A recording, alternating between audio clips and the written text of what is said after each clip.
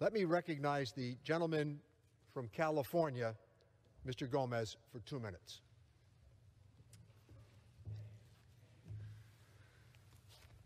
Thank you, uh, Mr. Chairman, for doing this uh, special order hour on uh, to remember the life of, of John Lewis. Um, he every he called other people brother. He called me young brother. So I guess I was uh, the the little guy.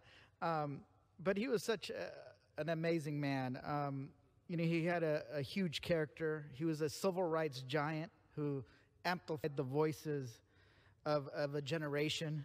You know, his commitment to dismantling hatred and oppression in whatever its form um, was something that inspired generations. And it's something that we all know that we stand on the, his shoulders on our own fights for greater equality in this country. His strength and resolve, showcased during the Nashville sit in movement, the Freedom Rides, and the March on Washington, gave us the momentum to carry on through adversity and taught us what it means to get into some good trouble. And those who knew John and marched with him, whether to protest the detention of immigrant children, as I did a few years ago, or to speak out against racial justice, always felt a little bit more hopeful when he was around. You know, it created that little bit of a ripple of hope from person to person when he was marching with you. But I believe he also created a little bit of a ripple of change in every single person he met that transformed and empowered communities and for future generations still unborn. That's the kind of legacy he left. But I also got to see him as, as just a humble person, a regular person.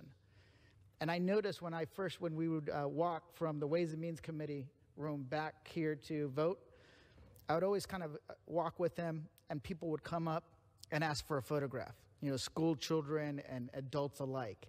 And they would get around him and, and you know, I was pushed aside and I, I took the phone and I, and I was proud to take the photographs.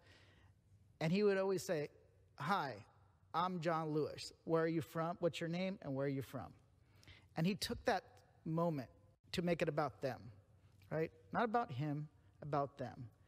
And imagine if we were all like that, where we just paused a little bit and took the moment to make it about the other person, right?